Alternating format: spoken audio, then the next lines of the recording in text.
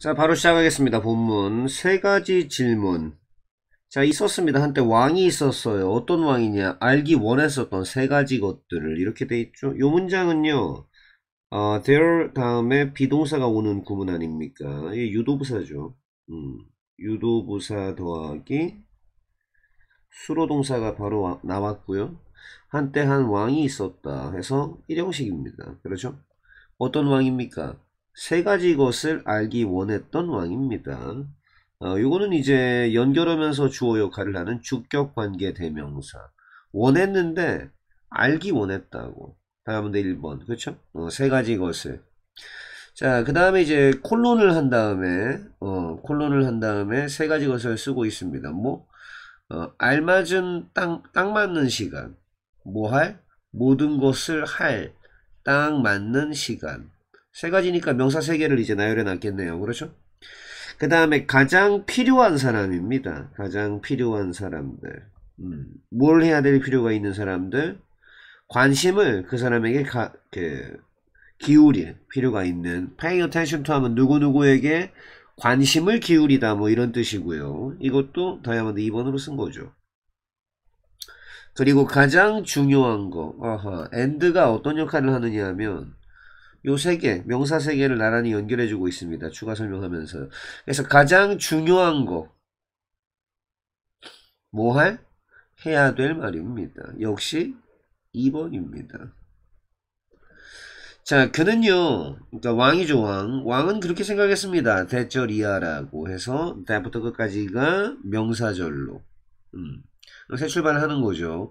왕은 대절이야라고 생각을 했는데, 아는 곳이, 어, 4번이죠.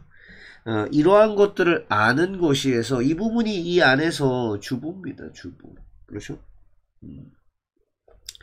그래서 이런 것들을 아는 것이야말로 모일 것이다. would ensure. 아, 보장할 것이다 라고 말입니다. 음. 얘가 이거면서 이거죠. 뭘 보장할 것이다? 그의 성공을 보장할 것이다 라고 말이죠. 조동사 본동사죠. 그 다음 자, 그는 발표를 했습니다. 뭘 발표를 했죠? 대절이야라고 발표를 했습니다. 이렇게 어, 보니까 되네요. 그가 보상을 할 것이다 라고 발표를 했습니다. 어떤 사람이든지 보상을 할 것이다. 어떤 사람? 그 사람이 그에게 이런 것들을 가르쳐주는 사람 말입니다. 참고로 주격관계 대명사 그 다음에 가르칠 수 있다라는 부분이 수로동사. 그에게 간접 목적어 이러한 것들 직접 목적어. 아, 사용식의 본질은 별거 없다 그랬죠. 동작의 대상이 둘입니다. 오케이? 그래서 가르쳐준다 누구누구에게 모시기를. 그럼 뭐다? 간접 대상 직접 대상. 음. 자 많은 사람들이요 맞습니다. 어, 참고로 이제 트래블 하면 보통 이제 여행하다라고 많이 우리가 어, 외우는데 사실상 어디 이동한다는 뜻에 가까워요. 그래서 이제 많은 사람들이 travel to 어디 어디로 왔습니다. 네? 어디로 왔죠? 어, 전치사가 있으니까 뒤에 목적어가 와야 되겠네요. 전치사 목적어가 그의 궁전 palace 그의 궁전으로 왔습니다. 그런데 그런데 그들은요 모두 다 그렇게 제공을 했던 겁니다. 다양한 답변을 제공했던 겁니다. 어디에? 그의 질문에 말입니다. 그렇죠? 음. 참고로 provide 모시기 to 어디 어디 원래 이 provide란 동사는요 밑에다가 간단하게 정리해 드리겠습니다. provide A with B A에게 B를 제공하답니다. 수요동사라서 이거는 B, B를 제공한다 for A 이건데 이제 to도 많이 쓰거든. 이거 이거 이거 그들이 모두 제공했다 다른 답변을 어디에 그의 질문에 어. 자 regarding 뭐뭐에 관해서 이거거든요.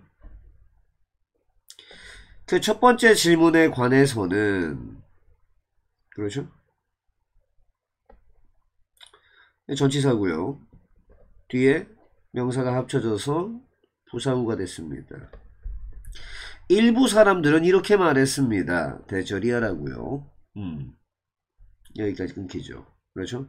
그 왕은 당연히 그렇게 만들어야만 한다라고 말입니다. 음? 뭐를? 아주 그냥 세부적인 스케줄을 만들어야 된다. 그래서 뭐 할 수 있도록 so that 그래서 그가 항상 알 수 있도록 말입니다. 이거 조동사고 본동사죠? 음. 그 완벽한 시간을 알 수 있도록 말입니다. 모든 것을 할 수 있는. 그치? 아, 그리고 이것도 이렇게 되고 이렇게 되죠. 어, 이건 또 2번으로 분석할 수 있습니다. 자, 다른 사람들은요, 주장을 했습니다. 대절이야라고요. 음? 음. 요렇게. 그가 모든 상황을 다 고려해야 된다. 어? 어, 요렇게. 참고로 이제 take 모시기를 into 그리고 account 이러면 뭘 고려한다는 뜻입니다. 그러니까 그가 모든 상황을 계산해 넣어야 된다. 즉 고려해야 된다라고 말이죠. 그리고 또 뭐 해야 된다? wait for 기다려야 된다. 응? 이게 슈드라는 조동사에 보니까 응? 본동사 하나 걸렸죠? 그렇죠? 그 다음 뭐다? 이 본동사 두 번째 걸린 겁니다. 지금 보면. 어? 그러니까 다른 사람들은 주장했어요. 대절이야라고. 그가 당연히 모든 상황을 고려해야 되고 또 당연히 기다려야 된다. 뭘 기다려야 된다? 정확한 순간을 기다려야 된다. 뭐할 순간? 행동할 순간. 2번이죠. 그또 다른 사람들은 또 그렇게 또 제안을 했죠. 대절이야라고. 그가 그가 당연히 그렇게 응? 상담을 받아야 된다. 현명한 사람들. 응. 근데 이제 이건 좀 하나 알아놓읍시다. 우리가 이제 이런 동사들이 나왔으니까 클레임이라든지 뭐 서제스트 같은 게 나왔으니까 보통 이제 이 주장이라든지 명령 제안 요구동사 해서 요 목록을 이제 오지게 외우거든요 보통. 어 뭐 이런 거 다음에 대절이 오면 한 다음에 어, 요 목록을 오지게 외운 다음에 오지고 지리게 외운 다음에 어 대절 안에 대절 안에 이게 종속절로 오면 대절 안에 뭐 should가 들어간다. 이걸 무지성으로 외우는 순간 아 골로 가게 됩니다. 골로 가요. 지옥행 express를 타게 되죠. 왜냐하면 이거 다음에 사실을 묘사하는 경우랑 당연을 즉 당위를 묘사하는 경우 이게 다릅니다. 네, 사실을 묘사하면 그냥 시제일치를 쓰면 돼. 응? 근데 당위를 말하면 내가 여기 나오는 것처럼 should 더하기 원형 또는 should를 생략하면 원형만 남거든. 어. 요거 근데 이게 자 학습의 목표가 주장, 명령, 제안, 요구 동사일 때 이거 목록을 오지게 외워야 될까? 아닙니다. 예. 이거는 대표 주자 하나씩만 외워도 돼. 사실. 그럼 우리가 뭘 외워야 되느냐? 슈드가 응? 슈드가 들어갈 때 당연히 그래야 되거든요. 요 정도 되는 뜻이라는 걸 외워야 됩니다. 무슨 말이냐면 예를 하나만 들어드릴게요. 음, 그 사람이 주장했다. 네, 대절이야라고 주장했다.